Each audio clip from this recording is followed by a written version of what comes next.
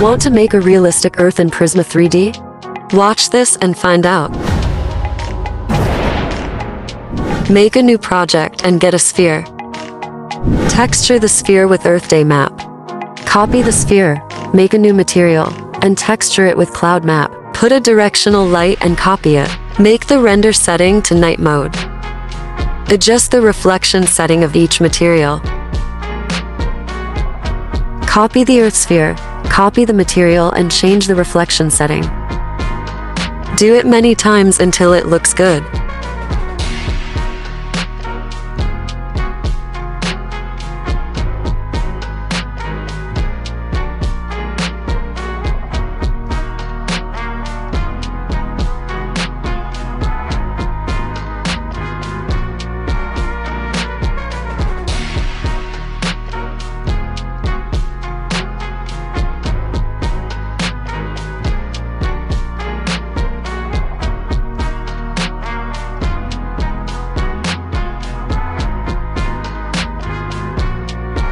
Did I help you?